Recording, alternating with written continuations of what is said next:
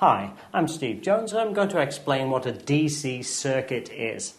Now, in all electrical circuits, the things that carry the electric charge are called electrons, and it doesn't matter whether it's a DC circuit or the other kind of circuit, which is AC.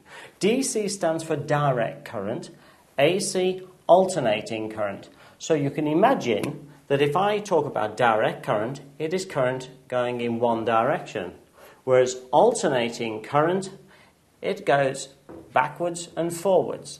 So, in fact, alternating current is different, not because it's not a flow of electrons, but because the electrons actually don't go one way, they go backwards and forwards, vibrating back and forth.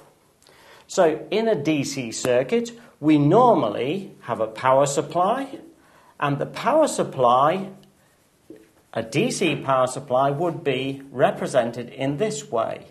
And normally it looks like this with a representation of a cell or battery if there are more than one cell. So a cell or battery.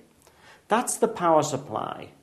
Now, we can also have a power supply which is represented in this way just like the one you'll have on your computer, which will say, for example, 19 volts DC, meaning that it's like a battery of 19 volts.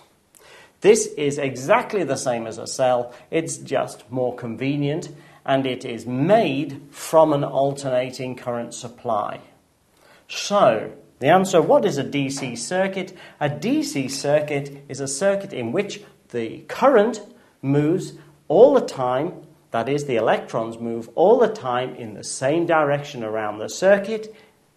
It's a complete circuit with electrons always moving the same way.